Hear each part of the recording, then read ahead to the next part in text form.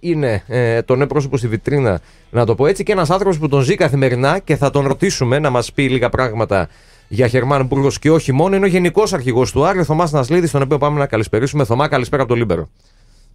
Καλησπέρα σας, τι κάνετε; Δόξα τω Θεώ, μια χαρά. Η Κάπα 19 δεν ε, τα πάει τόσο καλά. Έχοντας Κάπα 17. Η Κάπα 17 ναι, δεν τα πάει τόσο καλά στον τελικό με τον ΠΑΟΚ, αλλά έχει ακόμα ένα 20 λεπτάκι σχεδόν. Ε, Μήπως και ανατρέψει την, ε, την κατάσταση. Ε, Θωμά, ε, ζεις ακόμα έναν προπονητή στον Άρη ε, μετά τον Άκη Μάτζιο και θα, πάω, θα σε πάω κατευθείαν στα βαθιά ε, γιατί και εσύ καθημερινά συναναστρέφεσαι με τον Χερμάν Μπρούς που είναι το νέο πρόσωπο, είναι το πρόσωπο που ιντριγκάρει, είναι το πρόσωπο που δημιουργεί ένα ε, ενδιαφέρον και εσύ τον ζεις όσο λίγοι αυτή τη στιγμή και σίγουρα μπορείς να μας ε, δώσεις έτσι κάποια πρώτα στοιχεία από μέσα γιατί δεν είναι κάτι το οποίο δεν ε, είναι μια πολιτεία που δεν την έχουμε οι τις τελευταίες εβδομάδες όσον αφορά τον Αργεντινό. Ναι, ναι. Εντάξει, είναι ένας άνθρωπος που δίνει μεγάλη βάση λεπτομέρεια από ό,τι βλέπω. Δεν αφήνει τίποτα στην τύχη και προσπαθεί να είναι πολύ κοντά με τους παίκτες για να πλύνει το 100% από τον καθένα. Και αυτό πιστεύω είναι η διαφορά που έχει κάνει και φαίνεται στην αγωνιστικότητα του Άρη. Ε, εσύ μας δίνεις μια οπτική που όντως υπάρχει. Ε, αυτό το οποίο όμως νομίζω ότι η μεγαλύτερη επίδρασή του μέχρι στιγμής, πέρα από τις λεπτομέρειες, την έμφαση που δίνει σε αυτές τις μικρές λεπτομέρειες που λες και εσύ, νομίζω ότι είναι το ψυχολογικό. Διότι βλέπω μια ομάδα που κακά τα ψέματα δεν είναι πολύ διαφορετική από αυτή που βλέπαμε πριν. Έχει κάποια διαφορετικά στοιχεία, αλλά έχει άλλο αέρα. Έχει ένα άλλο νεύρο, να το πω έτσι. Το οποίο δεν είχε σε πολλά από τα προηγούμενα παιχνίδια της. Ε, θεωρώ αυτό έχει να κάνει με την ε, πολύ καλή επικοινωνία που έχει με τους παίκτες. Μιλάει και με τους περισσότερους στην ίδια γλώσσα γιατί αυτό παίζει το ρόλο του και προσπαθεί να τους ε, τονώνει ψυχολογικά σε κάθε φάση για να παίρνει από αυτούς ε, ό,τι μπορεί καλύτερο. Σίγουρα ο Άρης είχε καλούς παίκτες και πριν, έπαιζε καλό ποδόσφαιρο και πριν. Το ίδιο κάνει και τώρα, απλά τώρα βλέπουμε τους παίκτες να δίνουν το κάτι παραπάνω και να παίζουν όλοι για την ομάδα επειδή εσύ τη ζεις την ομάδα από πολύ μέσα, δηλαδή πιο μέσα δεν γίνεται και έχει καθημερινή παρουσία στα αποδητήρια και τριβή με τους ε, ποδοσφαιριστές και ε, υπήρξες και εσύ ποδοσφαιριστής και μπορείς να μπει στην ψυχολογία του, του ποδοσφαιριστή. Ε, πόσο πολύ βάρινε την ομάδα ε, και πόσο την απελευθέρωσε αυτό το θέμα με το μείον 6 καθ' όλη τη διάρκεια της σεζόν; Σίγουρα για τον κάθε παίχτη είναι πολύ δύσκολο να ξεκινάει, να βλέπει τη βαθμολογία στο τέλος της ημέρας, στο τέλος της εβδομάδας να ξέρει ότι μέσα στο γήπεδο είναι πολύ ψηλότερα και να βλέπει τον εαυτό του χαμηλά. Ε, είναι ένα πολύ μεγάλο βάρος που δεν μπορεί να το καταλάβουν όλοι, αλλά δυστυχώς φέτος ο Νάρτον έκανε πολύ μεγάλη ζημιά. Mm-hmm. Φανταστείτε τη μέρα που πήραμε τους μειών 6 βαθμούς και το ανακοίνωσε στην ομάδα, όλοι πανηγυρίζαν και χειροκροτούσαν σαν παιδάκια. Δηλαδή το περιμένανε, το θέλανε, χαρήκανε πάρα πολύ και κατάλαβα ότι το είχαν πολύ μεγάλο βάρος και οι ίδιοι περίμενες εσύ, ε, που εντάξει, ξέρω ότι είσαι και ένας φύση αισιόδοξος άνθρωπος, ρεαλιστής αλλά αισιόδοξος, ότι τρεις εβδομάδες μετά τα όσα γίνανε και στα Γιάννενα ε, με την ήττα από τον Πας, ο, ο Άρης θα κάνει τέτοιο φίνι στο πρωτάθλημα, ε, να πάρει τους 6 βαθμούς πίσω, να μπει στα playoff και να κερδίσει μάλιστα και τον Ολυμπιακό σε ένα παιχνίδι που δεν είχε ανάγκη τους βαθμούς. Αλλά παρόλα αυτά ε, έδειξε η ομάδα μια από τις καλύτερες εικόνες της φετινής σεζόν. Κοιτάξτε, η ομάδα όλοι λέγαμε ότι είναι πολύ καλή και έχει πολύ καλούς ποδοσφαιριστές. Εγώ πάντα βλέπω τα θετικά και πάντα περίμενα η ομάδα να έχει μια καλή περίοδο για να μπορέσει να κάνει τη διαφορά στο ελληνικό πρωτάθλημα και να έχει μια σταθερή περίοδο. Αυτό δείχνει ότι το έχει κερδίσει τώρα και είναι πολύ σημαντικό mm-hmm. γιατί είναι στην κρισιμότερη καμπή του πρωταθλήματος. Αν θυμάστε πέρσι η ομάδα είχε κάνει κάτι αντίστροφο. Ναι. Ήταν πολύ καλά μέσα στη χρονιά και το τελευταίο κομμάτι δεν ήταν τόσο καλό όσο θα θέλαμε. Ελπίσουμε τώρα να είναι το ανάποδο για να μπορέσουμε να είμαστε ακόμα ψηλότερα. Ε, ο Άρης ε, πλέον ε, με την κατάσταση βαθμολογία, έτσι όπως το βλέπεις και εσύ και με την εικόνα που παρουσιάζει και αυτός και ο Παναθηναϊκός και η ΑΕΚ θεωρείς ότι είναι φαβόρη για την τρίτη θέση ή είναι ακόμα πολύ νωρίς για να βάλουμε τέτοια ταμπέλα; Επειδή έχουν ακόμα δρόμματα πλέον. Φαβορή, φαβορή δεν θέλω. Δεν νομίζω ότι είμαστε φαβοροί ούτε υπάρχει κάποιος φαβορή. Ο Άρης δείχνει να είναι καλύτερα αγωνιστικά αλλά αυτό δεν, δεν λέει κάτι από μόνο. Πρέπει να υπάρχει ανάλογη συνέχεια αν υπάρξει ανάλογη συνέχεια και ο Άρης έχει την εικόνα που έχει, σίγουρα είναι, παίζει πολύ δυνατά το να κατακτήσει την τρίτη θέση. Ναι. Και Αλλά να το χρήσει σαν φαβορή δεν νομίζω ότι υπάρχει και δεν είναι και κανένας φαβορή, έτσι. Όλα είναι ανοιχτά δηλαδή. Ναι. Οι, λεπ, οι λεπτομέρειες είναι που θα κάνουν διαφορά και σταθερότητα. Και οι διαιτητές. Γιατί ήσουν και εσύ στο Καρασκάκι, εννοείται την, την Κυριακή. Ε, δεν ξέρω αν θυμάσαι χειρότερη διαιτησία τα τελευταία χρόνια. Ε, και δεν ξέρω αν πραγματικά δηλαδή στη θέση τη δική σου ή των άλλων μελών της αποστολής μπορεί να μπήκανε πολλοί και να θέλαν να πάνε να ρωτήσουν κάτι το μανούχο μετά το τέλος του αγώνα. Να το ρωτήσουν ένα γιατί. Γιατί νομίζω ότι αυτό το οποίο αντικρίσατε και εσείς από κοντά και το βιώσατε στο πετσί και το είδαν και όλα την τηλεόραση, ήταν μια από τις πιο σφαγιαστικές διαιτησίε που έχει βιώσει ο Άρης τα τελευταία χρόνια. Τι να κάνεις, αναγκασμένος να προχωρήσεις μπροστά, δεν μπορείς να ασχοληθείς με αυτό το θέμα γιατί θα σε πάρει πίσω και θα χάσει και το επόμενο παιχνίδι. Ναι. Θέλουμε να ελπίζουμε ότι ήταν ανθρώπινα λάθη και στα επόμενα παιχνίδια θα έχουμε πολύ καλύτερες διαιτησίε.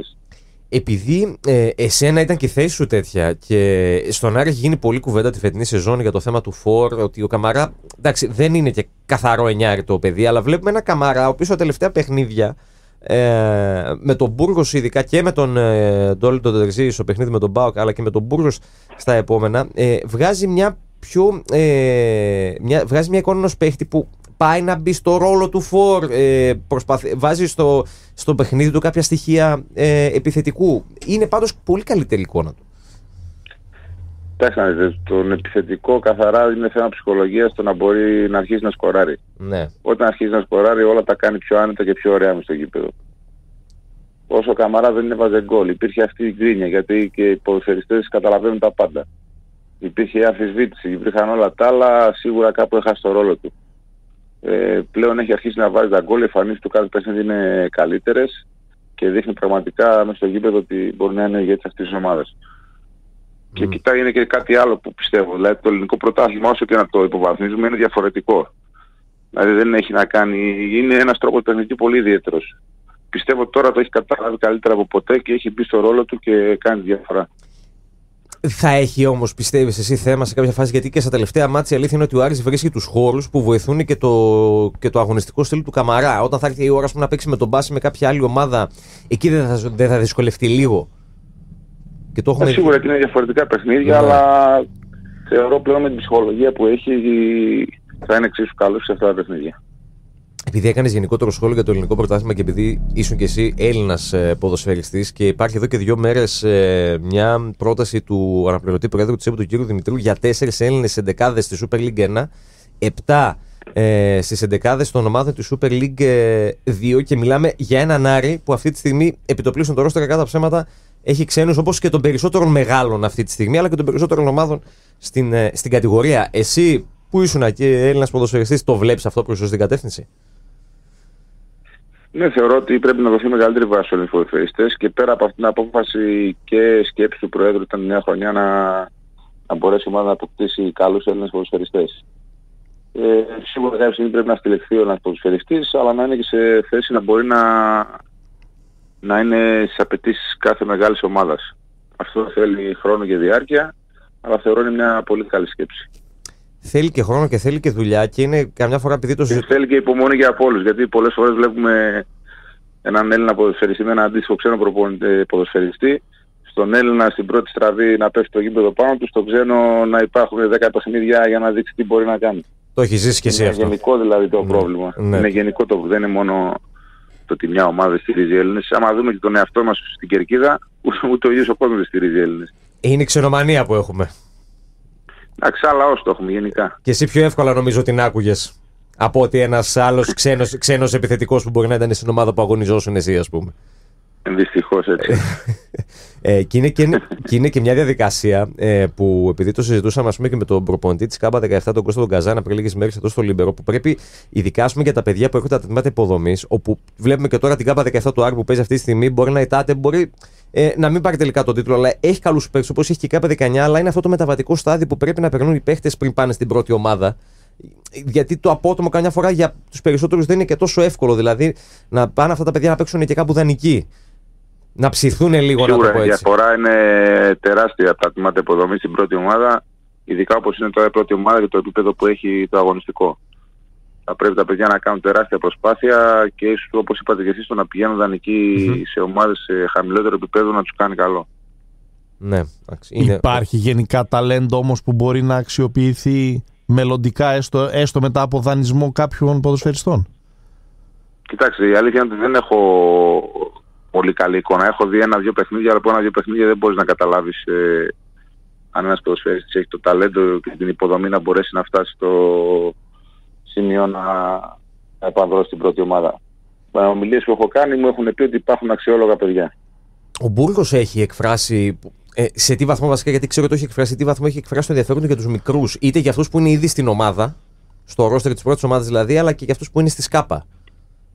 Γιατί φημίζεται για ένα, ως ένας άνθρωπος που του αρέσει να ασχολείται με τους, ε, με τους μικρούς. Είναι πολύ νωρίς για να ναι. είχε πολύ άλλες, άλλες ναι. προτεραιότητες για να βάλει σε μια σειρά. Αλλά προχθές που ήμασταν και βλέπαμε το μάτς K17 στο ξενοδοχείο τα ημιτελικά, ε, είχε εκφράσει τη θέληση του να δει τα παιδιά από κοντά, του άρεσε, πανηγύρισε τα γκολ. Μου φάνηκε ότι του αρέσει να ασχολείται με μικρά παιδιά. Το ζει γενικά, είναι παθιασμένος. Mm. Δηλαδή τώρα μας λέει ότι πανηγύρισε και με την ΚΕΠΑ 17, το βλέπει, έχει, έχει πολλή ενέργεια σαν άνθρωπος. Βγαίνει αυτός. Ναι, ναι, είναι πολύ εκφραστικός, ναι. Είναι, ναι, το έχει αυτό, εντάξει. Εκτός από το πάθος που μας είπατε ότι έχει δώσει στην ομάδα, έχει προλάβει να βάλει πινελιές τακτικής ή είναι πολύ νωρίς ακόμα για να δούμε πράγματα που θα λέμε ότι είναι ε, τακτική Μπούργος; Πιστεύω ότι προσπαθεί να βάλει πιο άμεσο παιχνίδι, δηλαδή πιο γρήγορη μετάβαση από την άμυνα στην επίθεση με πιο κάθετο ποδόσφαιρο και όχι το, το κλασικό το passing game και το Νομ... παιχνίδι κατοχής. Νομίζω το χαρακτηριστικό σε αυτό που λες το περάσει 100%. είναι ο Ματίγια. Και συγγνώμη που σε διακόπτω κιόλας. Που έχει κάνει και αυτό ναι, αυτός ναι, ναι. που του αρέσει, δηλαδή το ξέρεις εσύ, ήσασταν και συμπαίχτες, του αρέσει να κρατάει την μπάλα, αλλά πλέον και αυτός πάει πολύ πιο γρήγορα στην, ε, στην κυκλοφορία της μπάλας. Είναι κάτι που δουλεύει στο πονί καθημερινά, το να μπορεί να, ο κάθε ποδοσφαιριστής όσο πιο απλά μπορεί και πιο γρήγορα ναι. να προωθεί την μπάλα στην επόμενη ζώνη.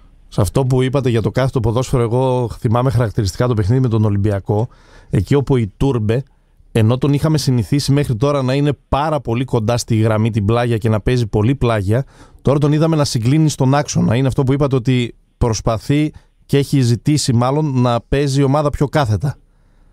Και φάνηκε αυτό ότι είχε αποτέλεσμα. Για να δούμε και το, και τον γκολ στον Ολυμπιακό στο Καρασκάκι είναι mm-hmm. κάθετη στον Καμαρά και κατευθείαν κάθετη του Καμαρά στον Ντέι.